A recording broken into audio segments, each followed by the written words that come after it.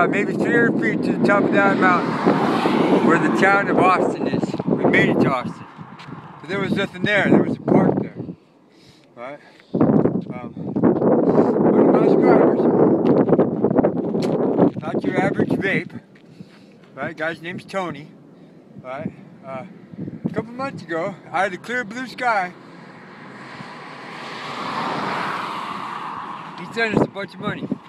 Sent us over a hundred bucks. Sit here, keep my name out of it. I don't want nobody to know that I did this. He's from Canada.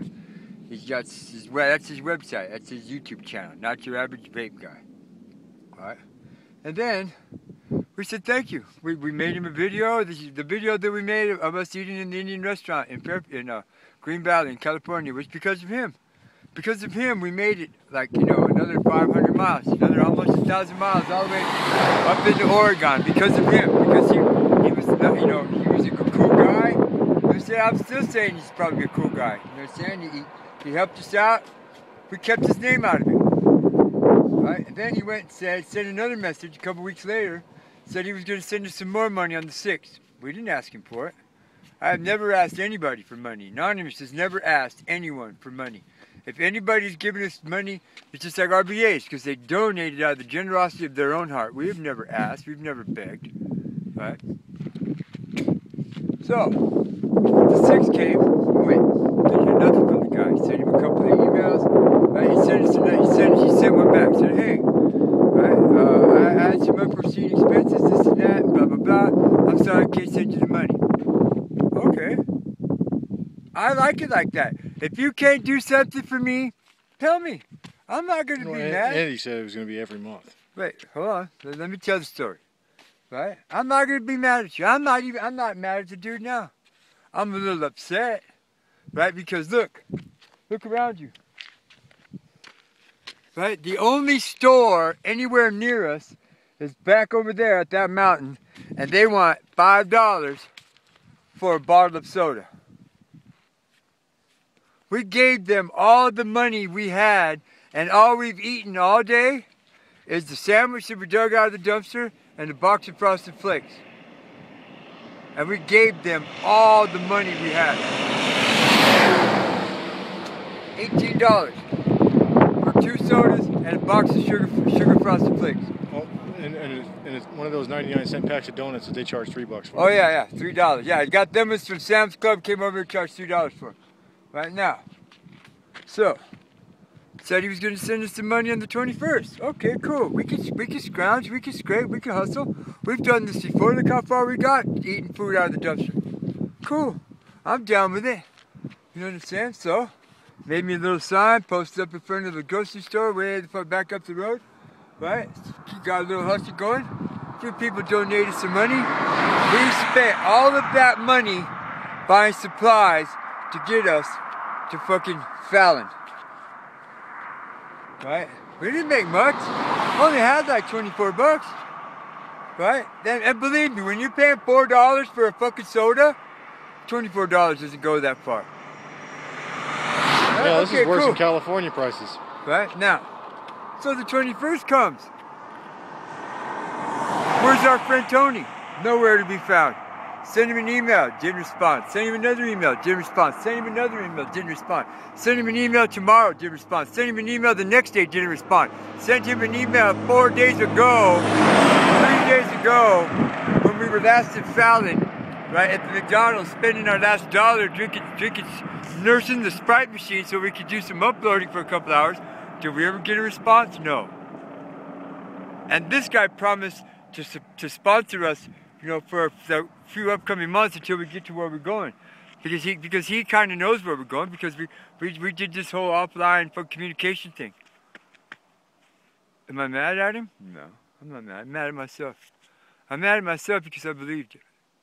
I believed him. Right? And I'm also mad at myself because I believed him.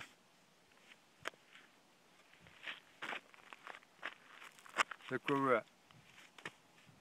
Am I upset with him? No. It's just a human being. Human beings have a tendency to do that kind of stuff.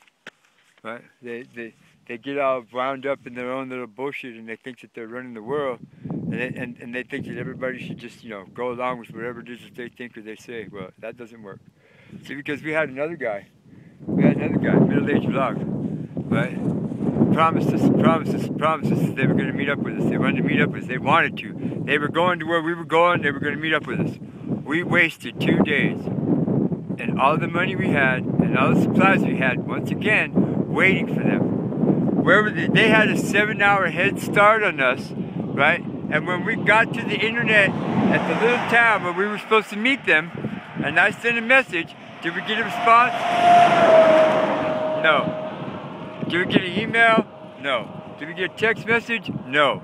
We sat there and we waited and we waited and we waited five hours. I, I texted him the location where we were at 10 times.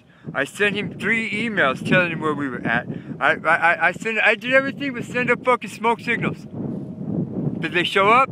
No. What we got instead was the next day, oh, sorry, bro, our phone didn't have signal and we were stuck in traffic. Bullshit! We rode up the same highway on our bicycles.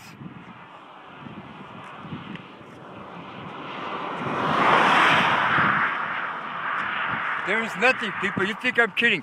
There is nothing. You see down there into that valley? You see where that shadow runs across? There's a big old windmill standing right there. That's the Indian reservation. I went up to the Baptist church in Austin because one of the locals recommended that I go up there and talk to the pastor because they have a little little outreach program and they give away food boxes. We're travelers, we're in need, right? So I walked out, I left the Anonymous over there charging the laptops right? And I walked all the way up to the end of town, all the way up to the top of the hill, and banged and banged and banged on the door to church. Nowhere to be found.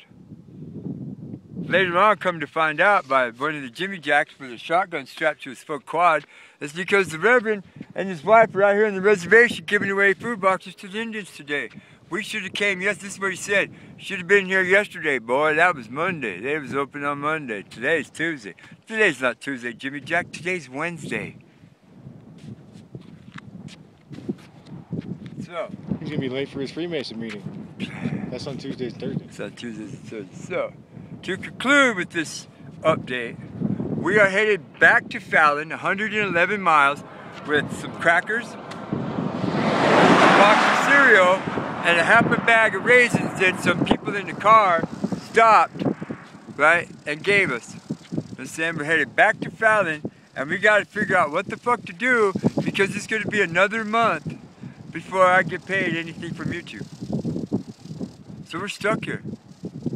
That it throws away all the plans that we have. It throws away all of the fucking stuff that we had set up. It throws away everything that we had fucking going for us. That because we're going to be stuck here in Nevada because of one person, Tony.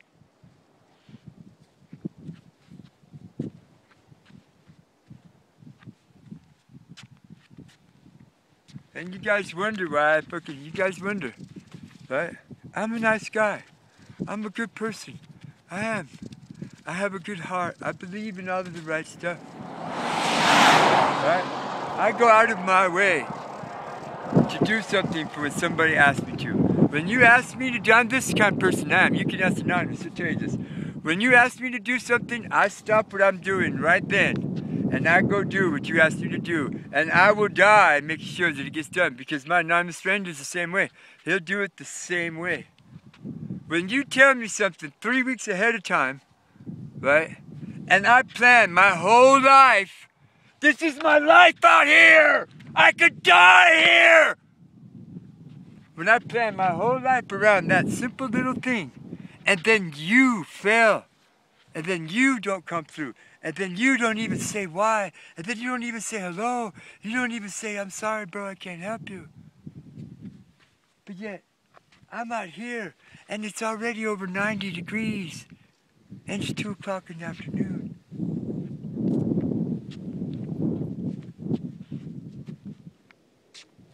We're not going to make it back to Fallon today.